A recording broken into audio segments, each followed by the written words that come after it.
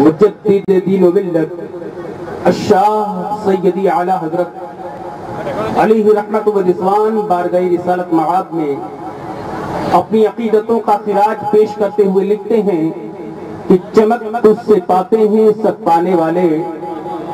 चमक तुझसे पाते हैं सब पाने वाले। मेरा दिल भी चमका दे चमकाने वाले। और बरसता नहीं देखकर अब्र रहमत बरसता नहीं देखकर अब्र रहमत। बदों पर भी बरसा दे बरसाने वाले।